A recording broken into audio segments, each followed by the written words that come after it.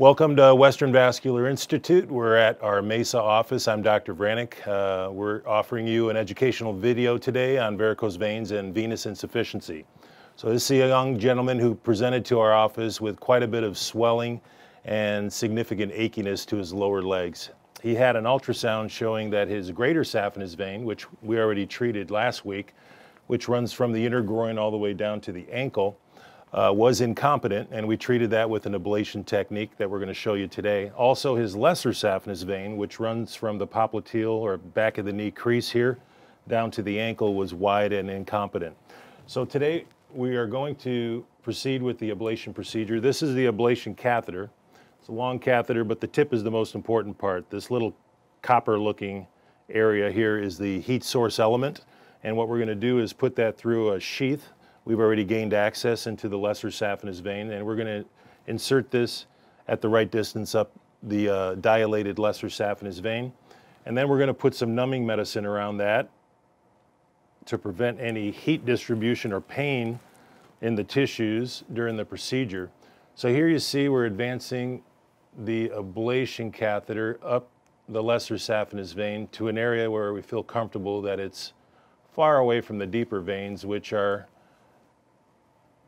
off the screen. You can't even see them. So it's a good safe distance, and we're going to start there. So what we're going to do next is empty the leg veins by putting his legs up and head down.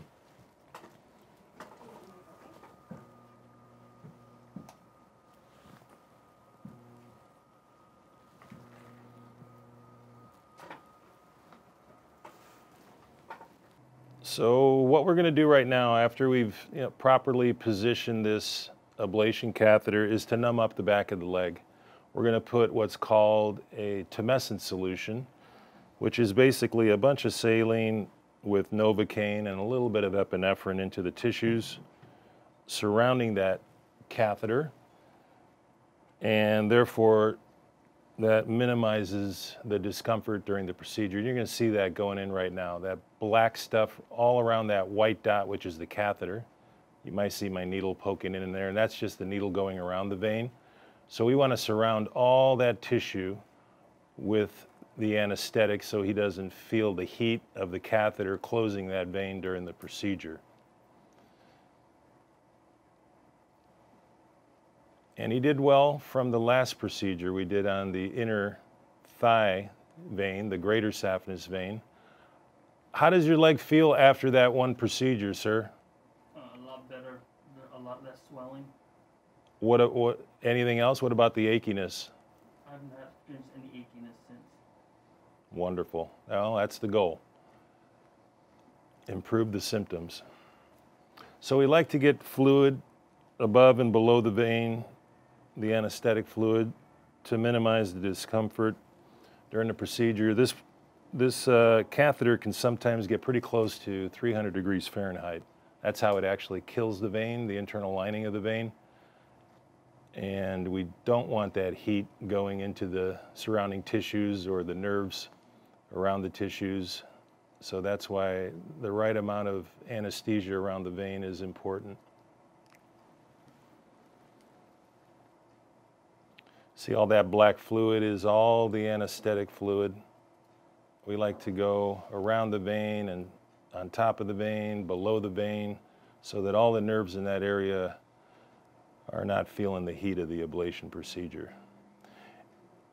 And the most common veins that get dilated with venous insufficiency or varicose veins are, are the ones that we talked about. The greater saphenous vein on the inner part of the thigh and calf that runs from the groin down to the inner ankle, and then the lesser saphenous vein is very common.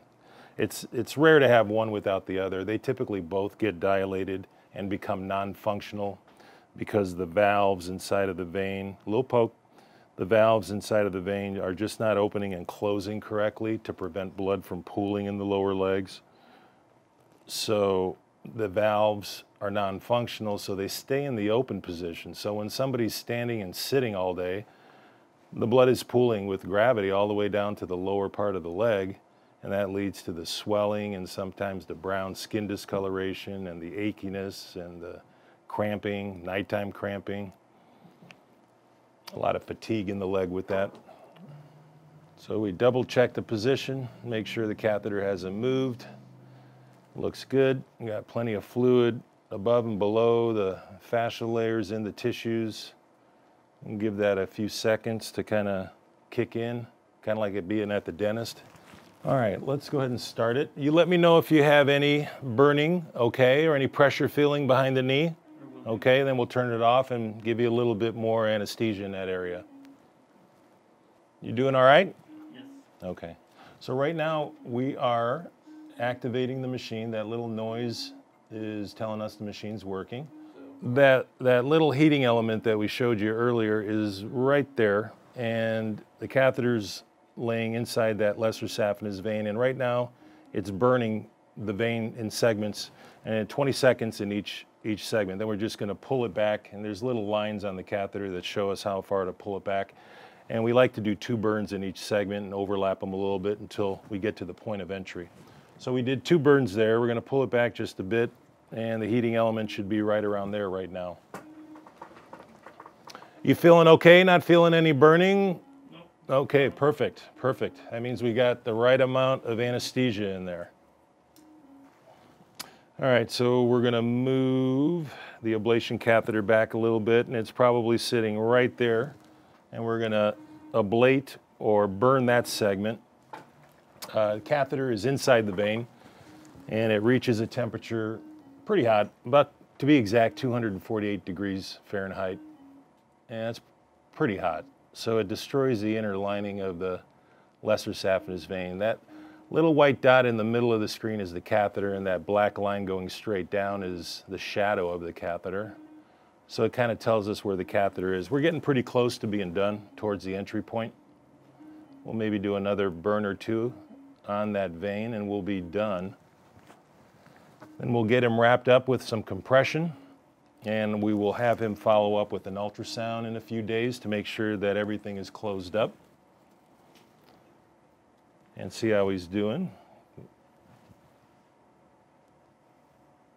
And that's about it. We're pretty close to being done.